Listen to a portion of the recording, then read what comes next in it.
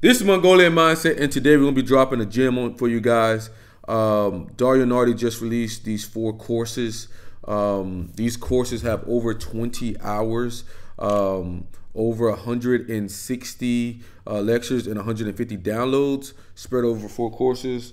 Um, so we're gonna be going into clicking in and showing you guys a little sample of it. Um, we'll be reading over the stuff. So he's got the first one, find your best fit uh, type.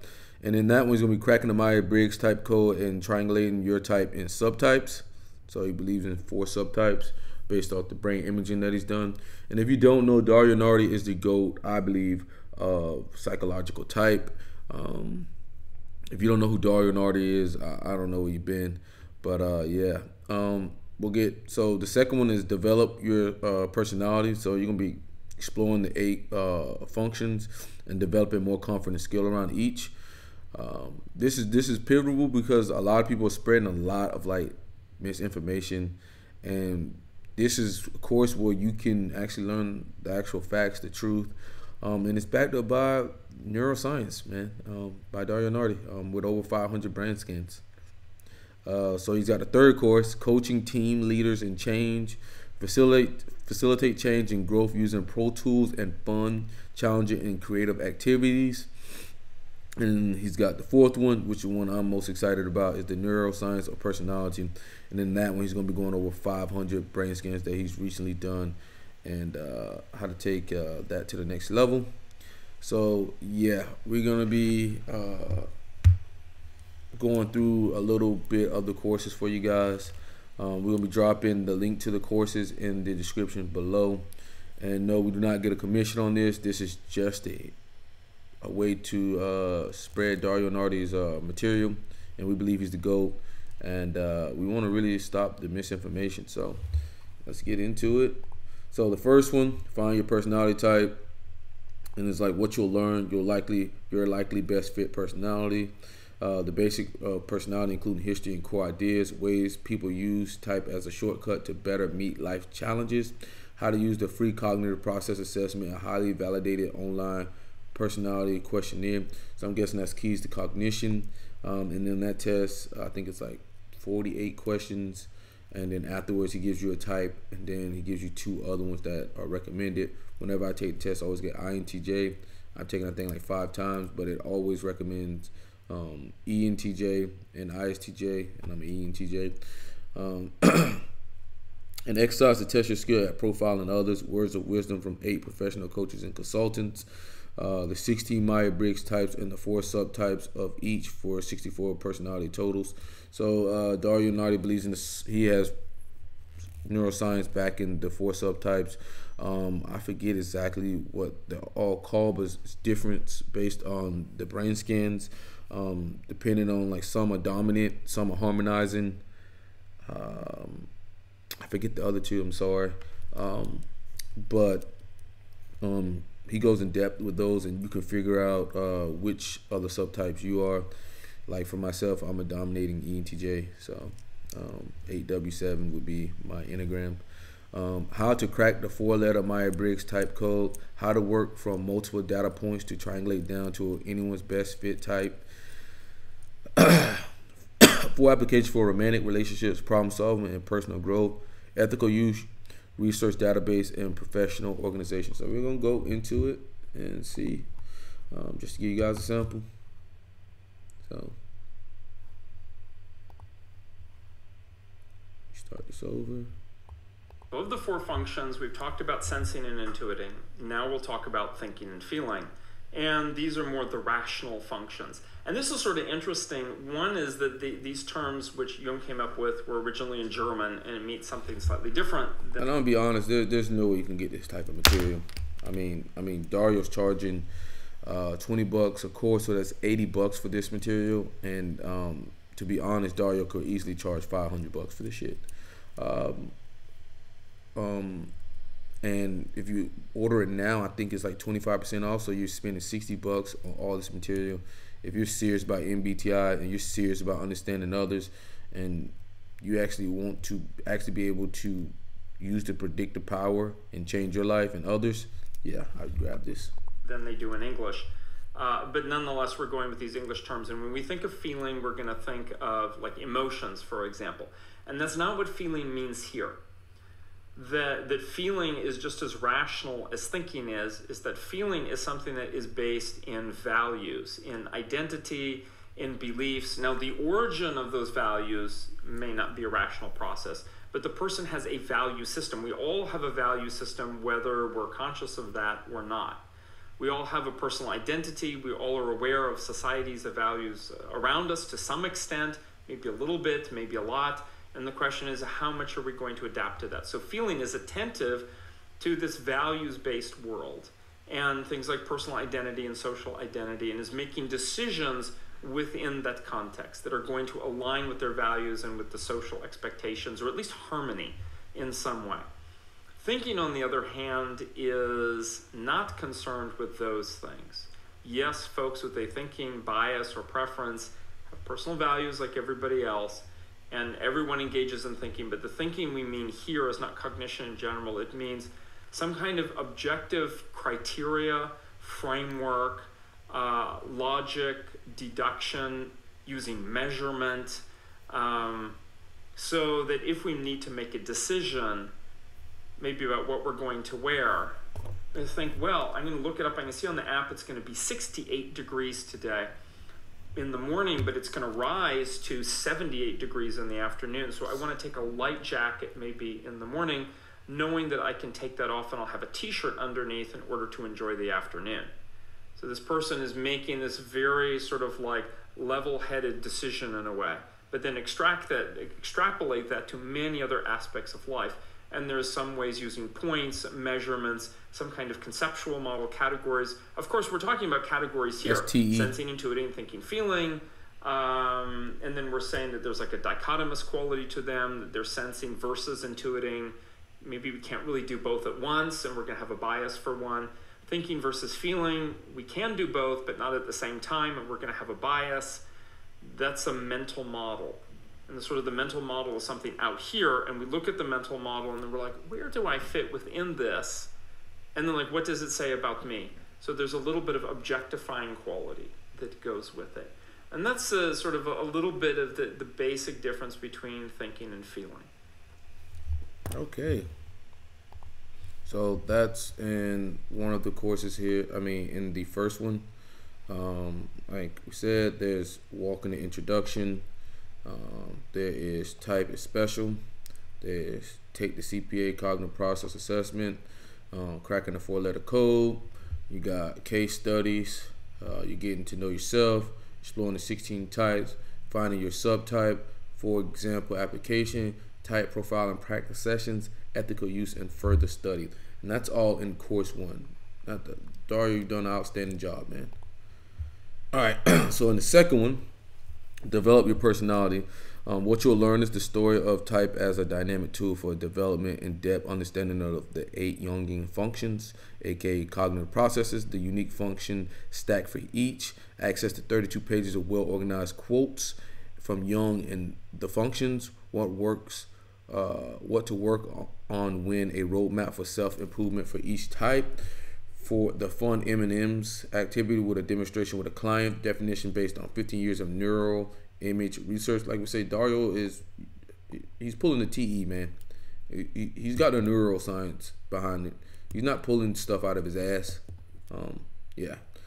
The function um, health meter in the spiral of development is someone in the dark grip. Obviously, the inferior in a bad way.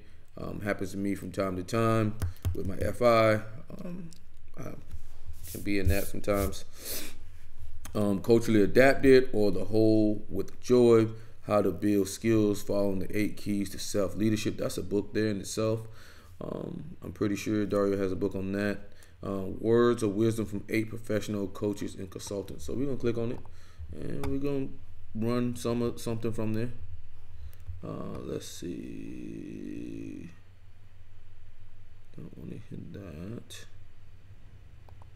okay let's just give them an overview processes overview. Extroverted thinking is this kind. So let's get into these eight functions just to get a sense of what they're like. and remember, they're organized in a certain way, so I'm going to talk about them in a certain way. And I'm just going to give a sentence or two. And what I'd like you to notice as we go through them is that they're all processes. That they all have a way to start, that there's something ongoing, um, that they have feedback that they consider and self correcting mechanisms, that they're adapting in nature. Um, and so when we talk about extroverted sensing, for example, is the active adapter, role or they're engaging in active adapting, those are verbs. Those are things that. Like basketball players. I watched the game last night and I was like, yo, there's so much SE in that. Like, so much. Just being able to react so fast and change motion and understand what this person's cutting and that person's cutting. Like, LeBron James is a great passer because he's an SE dom. That, uh, I'm going to say just that we do out in the world behaviorally, but it's actually a whole psychological experience. So let's take a look at these eight. Uh, we will start with the perceiving processes, and this is sensing and intuiting. And what did these look like? Well, we talked about sensing as being this concrete orientation of what is and what was. Extroverted sensing is enjoying the external world using your five senses and taking concrete actions based on options before you and being able to take those actions in a really smooth, effective way. Then we have introverted sensing, cautious protecting. So rather than active adapting, it's cautious protecting. Reference a massive storehouse of rich past experiences as you cultivate familiarity, comfort, and stability. And so this person is really drawing upon this huge storehouse and the power of habit for example, to memorize a piece of music and then to be able to play that back perfectly, or having a very, very strong awareness of their cultural traditions and to carry those on. And working from the storehouse of experience every day of an incredible amount of rich detail, which is accurately remembered. Then we have intuiting as a process. And it too can show up in two ways. And one is the extroverted way, which is orienting to the outer world. And this is perceiving, pursuing, and playing with life's many potential possibilities and facilitating the promising ones. So, again, this is not just about noticing possibilities, it's interacting with those possibilities. And, like, oh, you know, these different things, it has this potential. Like, how can I pull this out? What if we did it this way and turned it upside down or inside out, or connected it with something from some other context? And then we have introverted intuiting, keen foreseeing. Focus on the inner hidden world of mm-hmm. the unconscious through dreams, visions, symbols, and abstract ideas. So the person who really consciously is using introverted intuiting, what they have is a sense that over time this storehouse builds up of abstract impressions, of symbols, of dream material, of things from the unconscious and they're very comfortable working with that. And that means working with the unconscious itself to say, for example, I have a difficult problem, and instead of trying to think through it, I'm going to put that on the back burner and I'm going to sleep on it, and tomorrow morning I'm going to wake up and maybe I'll have an answer. I mean, we all do that sometimes, right? So, this is an example where, yes, there are people who really rely upon this process for their creativity, for their problem solving, and so on. So, sensing and intuiting each in two different ways. Then we have the judging processes, thinking and feeling. All right, so we're just gonna stop that there. So we don't make the video too long. Okay, so that's number two, and in there we have uh, the introduction. We have section two, the form uh, form four functions to eight cognitive processes. Um, we have experience with the eight processes with ENFP Anya. We have sensing processes in depth intuitive processes in depth. That was just an overview. Uh, thinking processes in depth, feeling processes in depth, the function stack, the uh, the assessing function functional health, uh, skill building activities, and what's next. That's all in um, the second one. Okay, now we're gonna be getting into the third one. Um, coaching teams, leading leaders in change. What you'll learn for uh, a broad four step coaching model, an alternate way to arrive at the 16 types, kind of like how we do it with the uh, temperament, interaction styles, and temperaments. Temperaments. interaction styles. Um, the non-essential leadership behaviors: trust, care, openness, speaking up, feedback, learning, teamwork, managing dilemmas, and creativity. Like I said, this is this is next level stuff here. Um, nine, yes, complete coaching activities to encourage acuity, flex, flexibility, and better outcomes usable by yourself or with clients, one on one in small groups. How to help people overcome one sidedness and bring greater joy, creativity, and effectiveness to their lives using the magic diamond. This is the magic diamond here. Okay, pick it up. I highly recommend you pick up anything with Dario Nardi on it, but that book there is phenomenal. Uh, the ethical use of psychological type and type tools with clients, the four temperaments in depth, how the nine leadership behaviors manifest for each Myers Briggs type with coaching tips for each, plus the links to nine points of the popular Enneagram. Yeah, I want to see that. Um, for Enneagram, I'm a 8W7, so I'd be interested to see what he got for that. Um, I'm not really into Enneagram that much, but I'll be looking more into it in the future. Um, the four sides of the Jungian psyche, persona, ego, shadow, and collective unconscious. Um, words of wisdom from eight professional coaches and consultant. So let's go and check that out. Let's go. Let's let's grab one of these videos that Dario got going. Okay. Um, let's see. Mm, the forbearance interactions. Let's go to let's go to temperament. Let's let's go deep. Let's go into the rationals. That's mine. Let's talk about the theorist pattern, also theorist. called rationals, or maybe if there's a color, it's the green color. And what is it as we dig into this pattern? Well, first of all, theorist automatically. We're all about competence and mastery and expertise. By itself suggests words like theorizing, and it suggests models and design and talking and thinking. And sure, that's certainly part of it. So the essential motivators are acquiring knowledge, competence, expertise, self mastery, uh, interested in progress, interested in learning, um, interested in principles and abstract principles. And their primary contribution in any organization is innovating, innovating tools and ideas. Uh, some of them more on the idea end of the spectrum, some of them more on the tool end of the spectrum, but nonetheless, there's this quality of innovation. Among the, the 16 types, we're talking about those with intuiting and thinking as their preferred processes. So that is uh, folks ENTJ, with ENTJ. introverted or extroverted intuiting and introverted or extroverted thinking, however those happen to play out. It's the four different types. INTP, so let's talk a little bit about the needs and values ENTJ, and dig into that. ENTP. Um, it's the people of this temperament want to understand the operating principles of the universe, as well as everything that's part of the universe that we're going to address. I mean, that we could possibly know. So if we get into like advertising, it's like, well, what are the essential principles of advertising? How can I make this work? Otherwise, they sort of feel like they're just afloat in a sea of things. And so what that means is they're looking for the, the system behind something. Like if I'm going to learn a new sport or I'm going to play a game or something, I'm looking for the system behind it. Because if I can manipulate the system, I can always get what I want. Really knowing what is, what's going on or what they're doing or how to think about something. Because if they can understand it, they can think about it. And if they can think about it, they can analyze and then find leverage points and find strengths and weaknesses and then target certain things. Mm-hmm. And in a sense, get scientific about stuff even if they're not actually in the sciences. It could be, for example, the principles of art.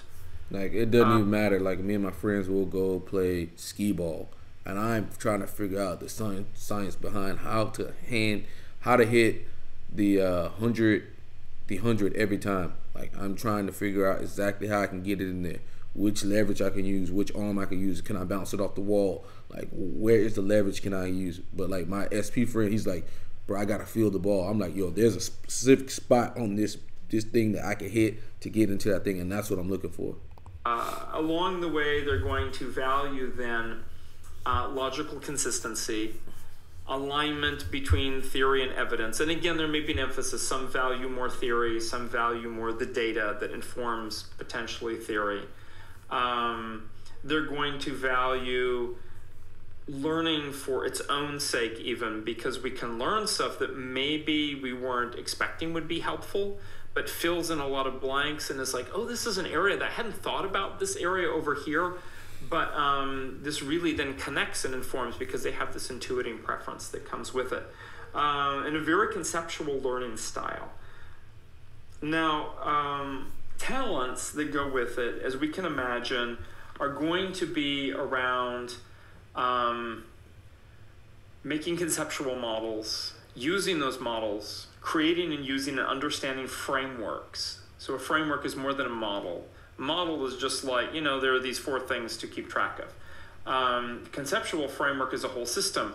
Personality type is more than just a four letter code. It has these like cognitive processes, it has temperament, as we'll discover, there's interaction styles. There are these coaching applications, there are these mini models that if we use them together, it can interface with other frameworks like Enneagram. Um, we can get into the Jungian stuff eventually and talk about things like shadow and persona and the unconscious. Is like this enormous framework that touches on everything about life and potentially can get very deep but also is useful in the details. So one of the things you see is interesting about these folks, they can come as a surprise, is at times they can be very, very theoretical. But at the other times, they're going to express the fact that they're interested in the pragmatic outcome. Like, does this accurately describe what it is that I'm observing? Or can I use this information to build a machine that actually works? Or a piece of art or um, people technology?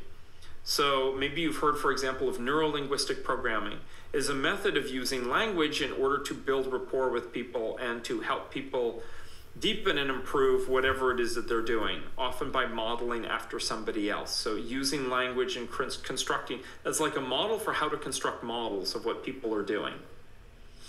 And that is sort of like what's going on with theorists. Uh, and then we get this idea of like, well, there's always in flow and progress so again, the person is not static. Learning and adaptation are part of the temperament inherently. Just like every tree or animal has in it, not just like a dog is not just a puppy. A puppy is just a phase of being a dog. And there's a whole growth sort of sequence or potential that's there as part of a pattern. So learning adaptation, so there's usually scientific. We're going to do some research, we're going to do some observation, we're gonna build and try out sort of prototype something. Okay, so this is part of the third one, uh, but we're not trying to make the video too long. On uh, the third one, um, they have the key concepts. Uh, they have the the four temperament, the motiv- uh, motivation, um, the bearings, interaction styles, uh, coaching leadership behaviors. Onions reflect on leadership. The five fun coaching activities, formal coaching activities, the Jung psych, um, synergy of opposites, what's next. Okay, so that's all in the third one. And the one I'm the most excited about is the psychological types four, um, the neuroscience of personality, what you'll learn here. Uh, what neuroscience says about personality type today based on five over 500 brain scans. Okay, thank you, Dario Nardi, for the work we will happily steal this knowledge from you. um, brain basic, including the functional regions, brain uh, waves, and neural networks. Um, brain scans, one's possible favorite brain regions using a coloring poster. So there's there's brain regions. Uh, if you follow his book, uh, The Neuroscience of Personality, this was like the beginner one. Um, and you'll see like someone like myself, who was an ENTJ, um, we're able to actually use the quickest route to uh, to answer things. Um, but that doesn't mean that we're always right. So you always got to check behind ENTJs. Um, I used to have a problem sometimes where I finish my homework fast and then uh, think I got 100 or something and then be mad when I got like a 92. And I was like, how did I miss that? But that's the one thing about ENTJs. They go so fast uh, that they make mistakes. And that is in this book. So um, this is just the beginner one. I mean, not the beginner one, but the older version. Don't what's this made. Um, I want to say this is from. I want to say 2011 or something. Mm. Damn, Dario. I can't help you out here, buddy. What the hell is this shit? Okay. But, uh, what does it say that's in? Mm, yeah, 2011. Damn, I was right. Look at that. Um, the clear scientific support for Jungian concepts like extroversion, introversion, and judging versus perceiving function, emotional dynamics in the brain. Emotions are intertwined in everything we do. The analytic, analytic versus holistic styles with a deep dive into four development types. Dominant, there we go. The four types: dominant, creative, normalizing, and harmonizing. So I will fall into the dominant brain scans for the ENTJ. Um, how a brain imaging uh, session typically goes. So he does brain imaging um, and whenever they do like the meetups, I think with Personality Hacker, uh, I think Dario's doing one in Pittsburgh very soon. Um, but I will uh, reach out to Dario and uh, get more information on that. We're also interviewing Dario Nardi um, next weekend. Um, so uh, comment below um, things that you would want us to ask Dario Nardi, and I'll make a list and I'll and I'll ask him. Um, Dario's like a wealth of knowledge, man. And the, the crazy thing is when he starts talking, he closes his eyes because you can tell he's going in NI to answer something. Um, how people tend to use their brains differently over time and across activities, neurodiversity on teams, description of the eight Jungian functions based on brain imaging results, how the brain shifts from a person's um, biological age, career, culture, uh, organization roles and personality. And if I'm correct, um, I remember Dario saying the biggest thing I think under 25 is actually uh, gender, and then after that it's career, and then everybody kind of makes them way back to a wholesome uh, the as they age past that. Uh, if I'm correct, if I remember that right. Um, body mind practices, uh, breath work, yoga, and the role of the autonomous autonomic nervous system, so ANS. So let's go into it and give you guys a preview. Okay, what do we want? Okay, examples of image uh, sessions. Let's get into that. Okay, now if you could bring your thumbs to where my thumbs are. Perfect. Yes. Uh, uh. Some people try and reach from above, and I'm like, no. It's taken. That real estate was taken. Yeah. Not that I love this angle, but that's fine. There we go. You can let go. Okay, and Dario has told me that he has these wireless now, so you don't have to have all these cords and stuff. Okay. Now you can. And if I'm right, I think Dario only charges 200 for these. That's like I said, Dario be giving insane value for cheap. Turn back this way. And just have a slight turn to the right. You're right. Actually, are you right or left-handed? I'm right-handed. You're right-handed try not to be too animated with your left arm because this is we will be putting in these electrical grounds they sort of fit over your earlobes as if you were wearing clip-on earrings we clearly do not have slippery ears oh uh, is that a an advantage or a disadvantage it's, it's, not convenient for me okay. some people's ears like just everything just slips off them yeah uh, nice family man he was a nice guy yeah, yeah. and uh, if i got if i got my name right you know he was really yeah that's takes more takes more courage. It's more no, it's not religious. It is really a civil kind of ritualistic uh-huh. outfit to confuse the clients, make sure they believe what you say. It's all based around that at the end of the day. It's all based around that at the end of the day. So do you have a summary statement on uh, what, what what is the what is the what is the inner justification for these sorts of? Uh, Where I was Right. Yeah, because because yeah. society has to deal with this. When when do you are there any signs before and is there anything you can predict? And okay. They're not my friends on Facebook though. um, should I try to go into like a yogic? We're gonna do that in a most moment. calm moment. Yeah, yeah, we'll do that. Let's make sure it's recording. Yeah. Okay. So now we'll start with, with some a couple minutes of meditation. Just sort of relax in your seat. Mm-hmm. Put your feet flat on your ground. And relax your feet and your legs. Relax your shoulders. Close your eyes. And I'd like you to focus on your breathing. Allow your mind to sort of clear up and go quiet as you focus on your breathing.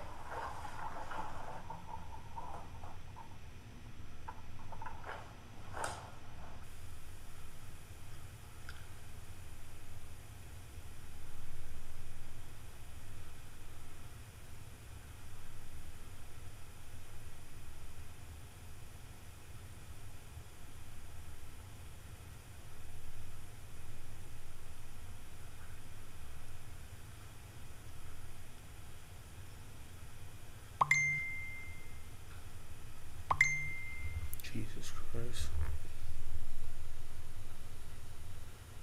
Breath work.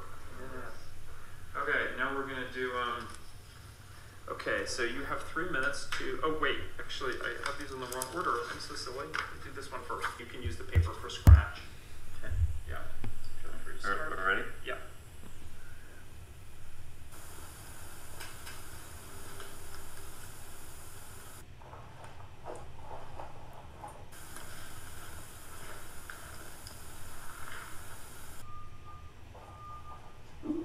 Fantastic. And overall, how did you find the problems?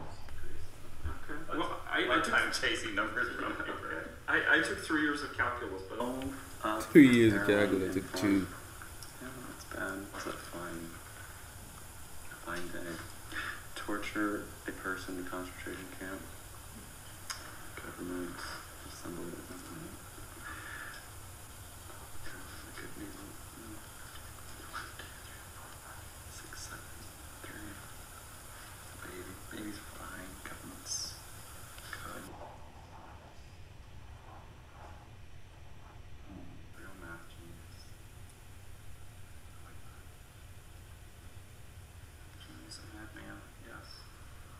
Okay, thank you.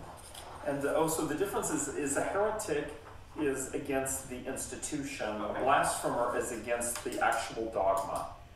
So Protestants, for example, were heretics, but they weren't blasphemers. I didn't know this. I love it. yeah. Okay, let's start. And um, microwave oven. Public housing, Public housing is a public necessity. Emotional housing, Emotional housing locks away the most important parts of us. Uh, swimming pool. Swimming. Pools. Swimming pools made for splendid swimming. Guess he's probably testing. I guess, I guess he's testing brainstorming. I'm guessing. Idea. Like uh, any Dom would probably be able to give you a ton of things. An idea pool. I would Cashier at the market. cashiers at the mark cashier at the markets um, tend to have sad eyes. Cashier of lost souls. The cashier of lost souls.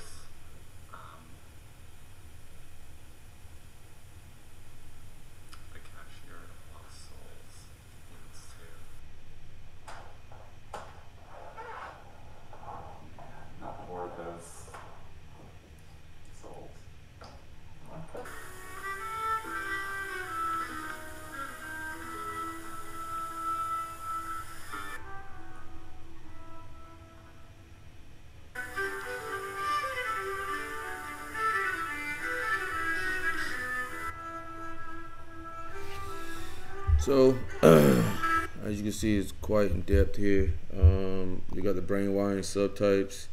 Uh, we got the 64 variants. Um, I guess you got the dominant is the more driven and confident. Uh, creative is more exploratory and social. Uh, normalized is more conventional and specialized. Um, harmonizing is more empathetic and reflective. And he has all those in there, and he goes this his assignment. He says, "What's your subtype?" Um, body mind practices. Uh, why body mind practices? Um, take your stress pulse. Carl Jung on yoga. Type specific body mind archive. Try yoga with personality in mind. And the last one, parting thoughts. Okay. Uh, what he covered, interview with professionals on the future of type and what's next for you. Okay, so um, that's all from Dario Nardi, uh, guys. Um, if you guys uh, grab that material, um, I think it would uh, end a lot of the misinformation out here um, and allow you to um, accurately type yourself and others. And um, it's very well in depth.